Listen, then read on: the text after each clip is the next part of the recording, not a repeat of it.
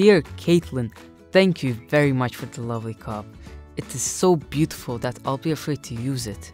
I don't want to break it. Not at all. I'm glad you liked it. I bought it in England. I hope you will use it for many years. Daniel, thanks a lot for the ball. Look here, there's a famous footballer's signature on it. Wow, it's a Ronaldinho signature.